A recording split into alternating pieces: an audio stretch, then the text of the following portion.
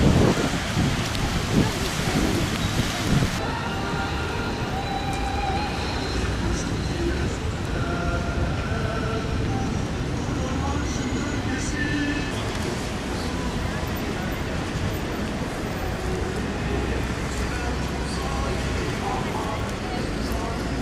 Kaynaklarımızın kullanımı hem de küresel iklimin oluşturacağı afetler ve e, etkileri konusunda çok ciddi anlamda bir krizle karşı karşıya kalabiliriz. Bunun için tabii ki toplumu bilgilendirmek, bilgilendirmek ve o zaman hazır olmak, şimdiden gerekli tedbirler almak en önemli hedefimiz olmalı diye düşünüyorum. Bu anlamda aslında bugün bir şeyi de başlatmak istiyorum. Ee, bildiğiniz gibi bundan önceki Tarım Bakanımız Türkiye'de su verimliliği seferberliğini başlattı. Aynı zamanda Yüksek Öğretim Kurulu Başkanlığımız da üniversitelere birkaç ay önce bir yazı göndererek üniversitelerde su verimliliği seferberliğini başlattı. Ama bugün biz diyoruz ki sloganımızı değiştirmeliyiz. Türkiye'de su seferberliğine başlatmalıyız. Çünkü suyu tanımadan, suyu anlamadan, suyu öğrenmeden, suyun dünyadaki yerini, önemini, insanoğlunun etkisini, küresel iklimdeki yerini anlamadan e, problemlere yaklaşımımız, çözüm üretmemiz, hele de 2040'lı yıllara doğru giderken yaşayacağımız bu krizlere çözüm üretmemiz mümkün değil. Onun için de e, bugün su seferberliğinin başlangıcını yapmak istiyorum. Bütün e, ülkedeki bu konudaki duyarlı insanlara bir çağrı yapmak istiyorum. Gelin hep birlikte bir su seferberliğine başlayalım. Aksi takdirde su stresinin içinde olan, su e, fakirliği sınırında olan ülkemizde böyle devam ederse, küresel iklim etkileri devam ederse önümüzdeki yıllarda yaşayacağımız problemler artarak devam edecektir.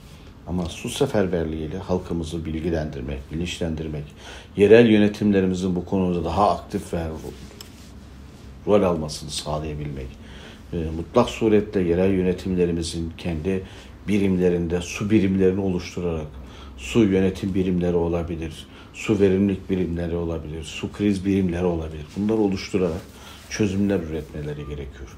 O nedenle de önümüzdeki süreç bizim için çok önemli. Önümüzdeki birkaç yıl bunu hazırlık noktasında çok önemli.